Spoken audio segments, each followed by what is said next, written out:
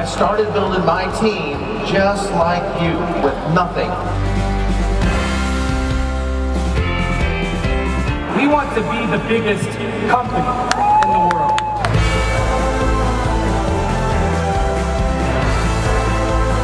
There was an idea, there was a vision about what would we do with something so special.